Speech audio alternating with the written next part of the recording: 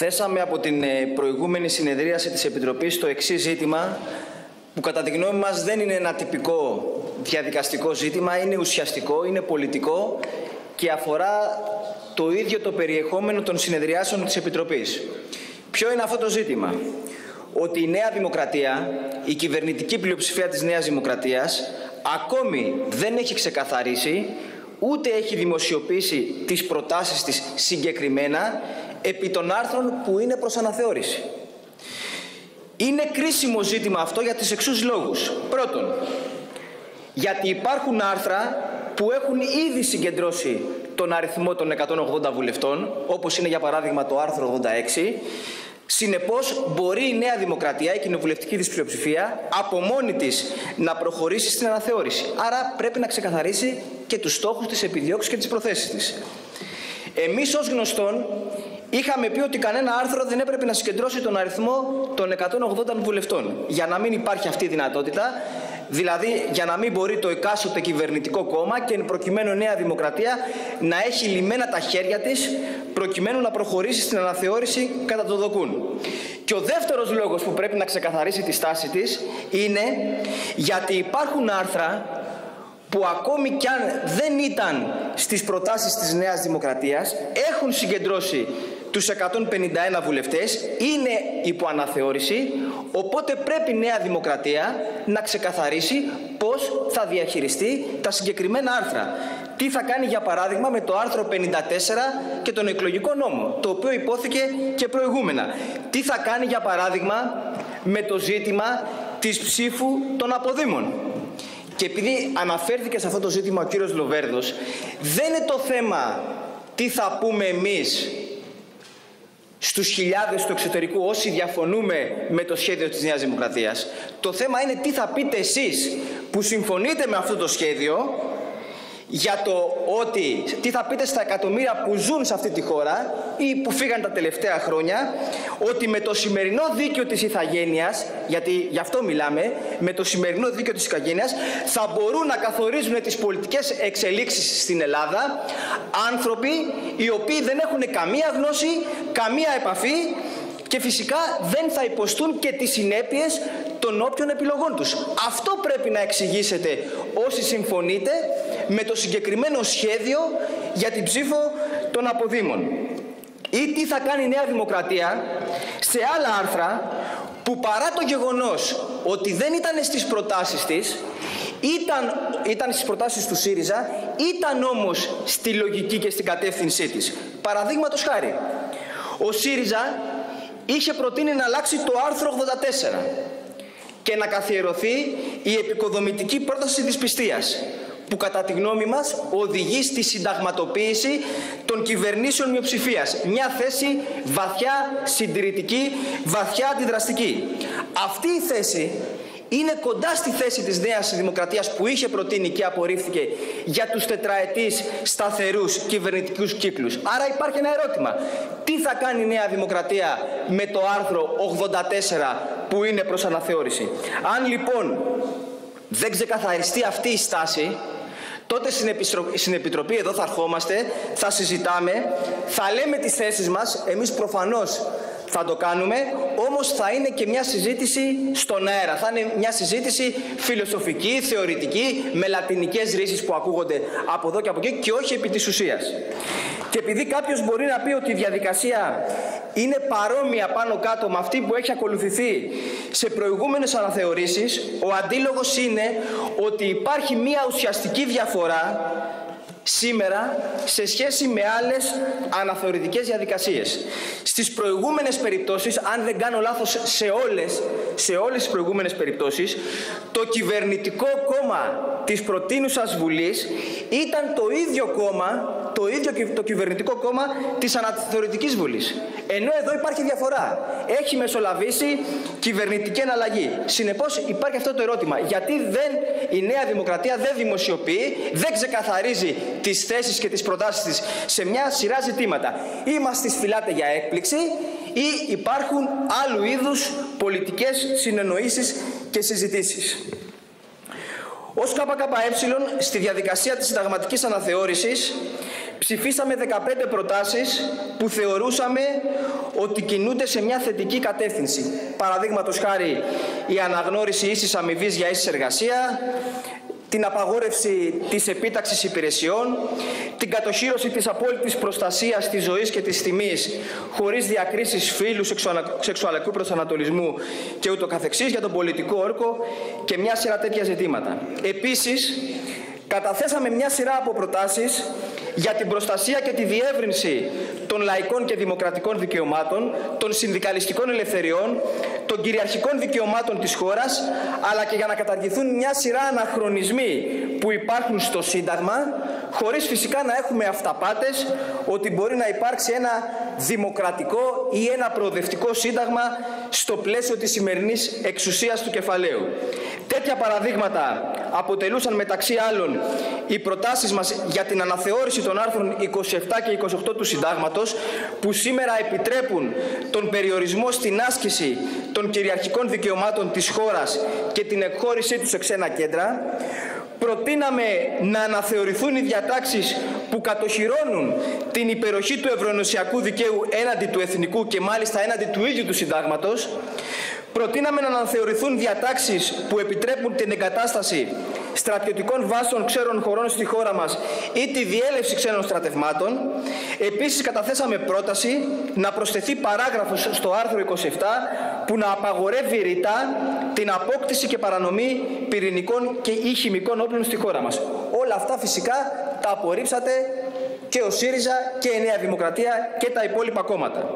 Απορρίψατε επίσης τις προτάσεις μας για να υπάρξει ουσιαστική κατοχήρωση μιας σειράς κοινωνικών δικαιωμάτων, όπως είναι το δικαίωμα στην απεργία και τις συλλογικές διαπραγματεύσεις των εργαζομένων ή την τροποποίηση του άρθρου 18 έτσι ώστε ο ρηκτός πλούτος της χώρας, τα κοινωνικά αγαθά, οι δημόσιες εκτάσεις σε ορεινούς όγκους, αιγιαλούς, αρχαιολογικούς χώρους να μην μπορούν να παραχωρηθούν με κανένα τρόπο σε τρίτους για εκμετάλλευση.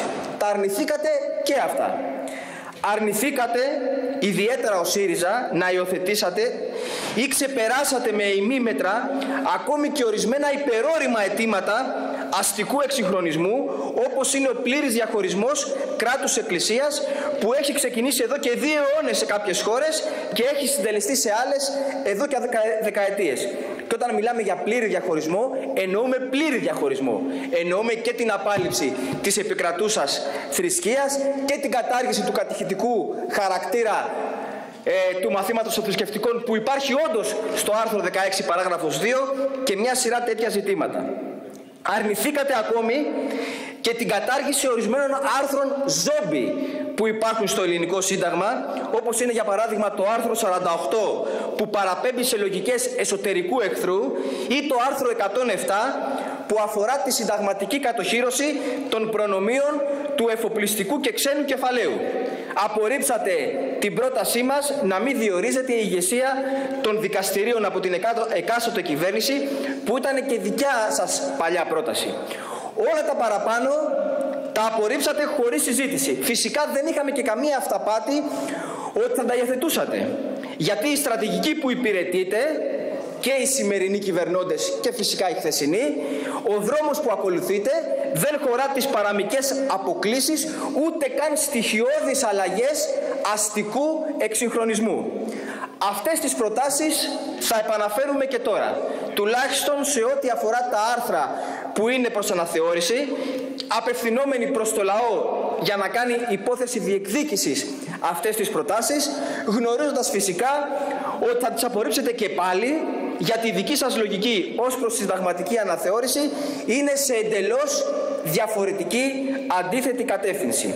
Αν δει κανείς προσεκτικά τις προτάσεις του ΣΥΡΙΖΑ, της Νέας Δημοκρατίας, των άλλων κομμάτων και μάλιστα τις προτάσεις σε κρίσιμα άρθρα, θα διαπιστώσει ότι παρά τις επιμέρους διαφορές που υπηρετούν και επικοινωνιακούς σκοπούς, όχι μόνο επικοινωνιακούς, αλλά και τέτοιους, υπάρχει ένας κοινός παρονομαστής. Υπάρχει μια κλωστή, ένα νήμα που συνδέει αυτές τις προτάσεις, υπάρχουν κοινοί στόχοι και ταυτίσεις. Και η κοινή σας απορριπτική στάση απέναντι στις προτάσεις του ΚΚΕ είναι ένα στοιχείο αυτής της ταύτισης. Ποιοι είναι οι δικοί σας βασικοί στόχοι όσον αφορά τη συνταγματική αναθεώρηση που φάνηκαν ξεκάθαρα σε όλη τη διαδικασία της προηγούμενης της προτείνουσας Βουλής. Πρώτον, κυβερνητική πολιτική σταθερότητα. Αυτός είναι ο βασικός σας στόχος. Να υπάρχει κυβερνητική σταθερότητα έτσι ώστε να μην διαταράσσεται η συνέχεια στην άσκηση της κυρίαρχης πολιτικής από μια σειρά παράγοντες ανάμεσα στους οποίους μπορεί να είναι και ο λαϊκός παράγοντας και η πίεση που μπορεί να ασκεί και έχει το δικαίωμα να ασκεί προς τις εκάστοτε κυβερνήσεις. Αυτό προσπαθείτε για παράδειγμα να το επιτύχετε με την κοινή ουσιαστικά πρότασή σας όπως αποδείχτηκε για την αναθεώρηση του άρθρου 32 και την αποσύνδεση της εκλογής του Πρόεδρου της Δημοκρατίας από τη διενέργεια εκλογών παρά το γεγονός ότι ο ΣΥΡΙΖΑ έλεγε ως έσχατη λύση εκλογή από το λαό μια πρόταση που τελικά απορρίφθηκε και από τους δικούς του βουλευτές και από την άλλη η Νέα Δημοκρατία λέει εκλογή με 151 αν τελικά αποβεί άκαρπη η διαδικασία στη Βουλή με πιο αυξημένες πλειοψηφίες. Την κυβερνητική πολιτική σταθερότητα προσπαθείτε επίσης να την επιτύχετε και με άλλες προτάσεις, όπως ήταν η πρόταση του ΣΥΡΙΖΑ για το άρθρο 84 του Συντάγματος και την απόρριψη προτάσεων δυσπιστίας που υπερψηφίζονται αν δεν υπάρχει συμφωνία για νέο Πρωθυπουργό, που όπως είπαμε οδηγεί στη συνταγματοποίηση των κυβερνήσεων μειοψηφίας. Παρόμοια πρόταση είχε και η Νέα Δημοκρατία για τους σταθερούς τετραετής κυβερνητικούς κύκλους που οδηγούσε από άλλο δρόμο στο ίδιο όμως αποτέλεσμα. Τι επιδιώκεται με τέτοιες προτάσεις; Θέλετε να προχωρήσετε σε μια σειρά από προσαρμογές στον τρόπο λειτουργίας του κράτους, των κυβερνήσεων και σε συνταγματικό και σε απλό νομοθετικό επίπεδο. Το επιτελικό κράτος, για παράδειγμα, της Νέας Δημοκρατίας εντάσσεται σε αυτή τη λογική, παίρνοντας υπόψη τα εξής δεδομένα. Ότι οι εξελίξεις σε παγκόσμιο και ευρωπαϊκό επίπεδο, που φυσικά επηρεάζουν και τη χώρα μας, προμηνύουν ένα γύρο αναταράξεων, κρίσεων και αστάθειας στο αστικό πολιτικό σύστημα. Μπορεί σε αυτή τη φάση να υπάρχει μια επιφανειακή σταθερότητα, μια ανάκαμψη της οικονομίας, όμως ξέρετε πάρα πολύ καλά ότι η ανάκαμψη αυτή είναι ασταθής και ανεμική. Ξέρετε ότι οι εκτιμήσεις που γίνονται προμηνύουν ένα νέο γύρο κρίσης και ίσως γρηγορότερα από ό,τι αναμενόταν και κυρίως ξέρετε πάρα πολύ καλά ότι καμιά μορφή διαχείρισης ούτε οι λεγόμενοι νεοφιλελεύθεροι, ούτε η λεγόμενη σοσιαλδημοκρατική, ούτε κάποια άλλη συνταγματική ρύθμιση αυτού του συστήματος μπορούν να αποτρέψουν την εκδήλωση της κρίσης, να αντιμετωπίσουν τους φοδρούς ανταγωνισμούς που οξύνονται παγκόσμια και να γιατρέψουν τα σοβαρά αδιέξοδα αυτού του συστήματος. Πέρα από το γεγονός, επειδή αναφέρθηκε ο κύριος Κατρούγκαλος για κενσιανισμό κτλ., ότι είναι βαθιά ανιστόρητο ότι ιστορικά οι κρίσεις αντιμετωπίστηκαν με το κενσιανό μοντέλο. Η κρίση της δεκαετίας του 30 δεν αντιμετωπίστηκε με το κενσιανό μοντέλο. Αντιμετωπίστηκε ουσιαστικά σαν γόρδιος δεσμός με το δεύτερο παγκόσμιο πόλεμο, με τεράστια καταστροφή παραγωγικών δυνάμεων και φυσικά με τη μεταπολεμική ανάκαμψη, ανάπτυξη που ακολούθησε. Άρα ορισμένα πράγματα που λέτε είναι και ανιστόρητα. Τελείως. Ξέρετε επίσης ότι αυτές οι εξελίξεις θα προκαλέσουν και νέα αστάθεια στο αστικό πολιτικό σύστημα και νέους αγώνες. Εξού λοιπόν και η αγωνία σας για την κυβερνητική πολιτική σταθερότητα και η σύμπτωσή σας σε αυτό το πολύ ουσιαστικό κομμάτι της συνταγματικής αναθεώρησης. Εμείς αντίθετα λέμε ότι αυτή την αστάθεια ο λαός όχι μόνο δεν πρέπει να τη φοβηθεί, αλλά να την αξιοποιήσει, να τη διευρύνει όσο περνάει από το χέρι του προς όφελός του, για να εμποδίσει μέτρα σε βάρος του, να αποσπάσει ό,τι μπορεί, να δημιουργήσει ρήγματα και να διαμορφώσει συσχετισμό και προϋποθέσεις συνολικότερης σύγκρουσης με το σημερινό σάπιο καπιταλιστικό σύστημα.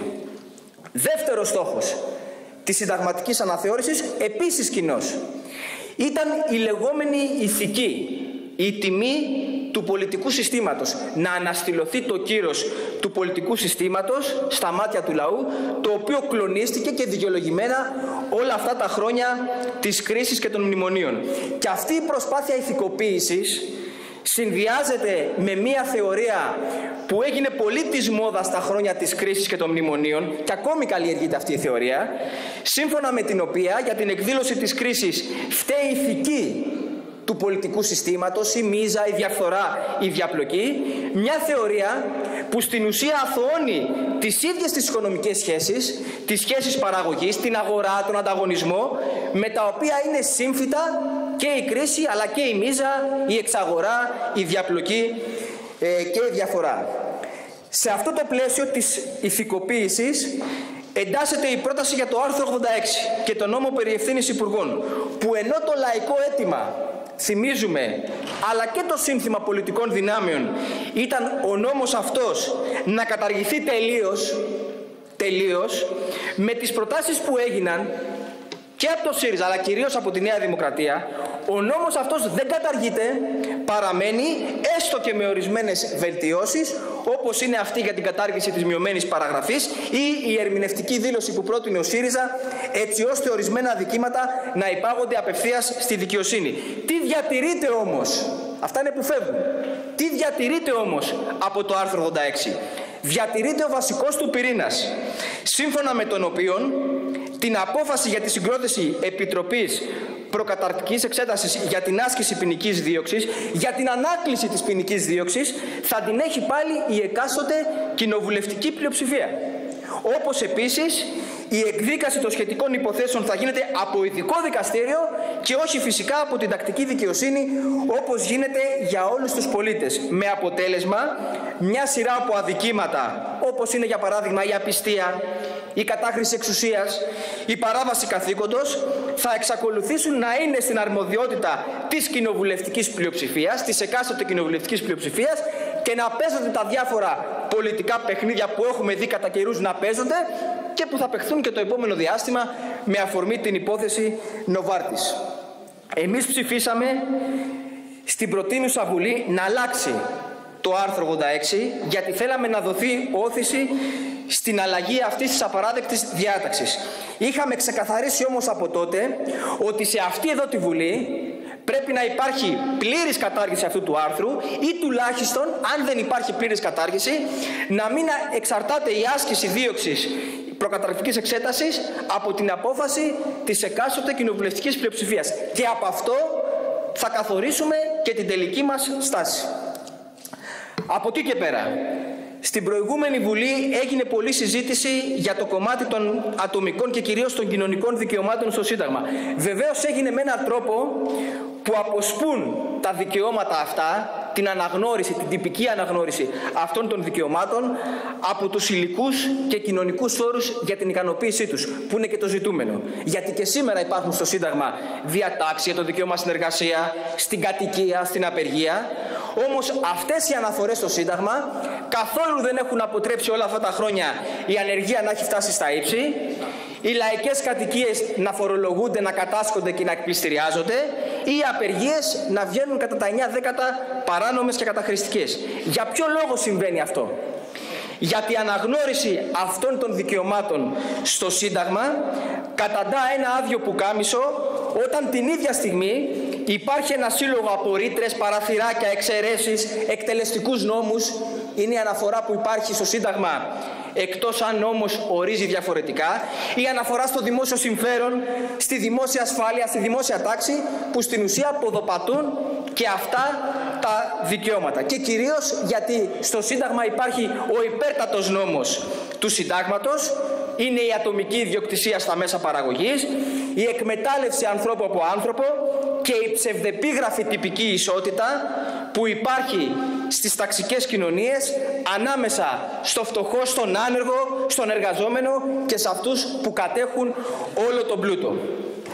Δεν είμαστε αντίθετοι κάθε άλλο στο να βελτιώνονται οι διατυπώσεις στο Σύνταγμα και να ενισχύεται η προστασία των λαϊκών δικαιωμάτων. Γι' αυτό το λόγο άλλωστε και καταθέσαμε μια σειρά από προτάσεις για να υπάρξει παραπέρα διεύρυνση του δικαιώματος της απεργίας, όπως είναι η συνταγματική απαγόρευση της ανταπεργίας, για την επέκταση του απεργιακού δικαιώματος στα σώματα ασφαλείας και τους δικαστικούς, για να είναι η κοινωνική ασφάλιση αποκλειστική υποχρέωση του κράτους, να υπάρχει πλήρης κατοχήρωση χωρίς περιορισμούς των ελεύθερων συλλογικών συμβάσεων στο δημόσιο και ιδιωτικό τομέα, να καταργηθεί συνταγματική απαγόρευση για τη μονιμοποίηση των συμβασίων. Και αυτά τα απορρίψατε.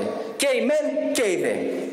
Και αντί για αυτά φέρατε ορισμένες προτάσεις περιορισμένους χαρακτήρα, είτε και ορισμένες προτάσεις που αν τις δει κανείς καλά είναι και ύποπτες. Όπως ήταν για παράδειγμα στο ζήτημα της κοινωνικής ασφάλισης, η διατύπωση που κάνατε, ο ΣΥΡΙΖΑ, για να εισαχθεί συνταγματικά ο όρος της ανταποδοτικότητας που αποτέλεσε τον πολιορκητικό κρυό όλα αυτά τα χρόνια για τη διάλυση του κοινωνικού χαρακτήρα της ασφάλισης. Ή η πρόταση και του ΣΥΡΙΖΑ και της Νέας Δημοκρατίας για να συνταγματοποιηθεί η λογική της ακραίας φτώχειας, του ελάχιστου επίπεδου διαβίωσης, ενός εγγυημένου εισοδήματος που μόνο αυτό θα έχει υποχρέωση να εξασφαλίζει το κράτος και από εκεί και πέρα ο σώζον εαυτό σωστήτο.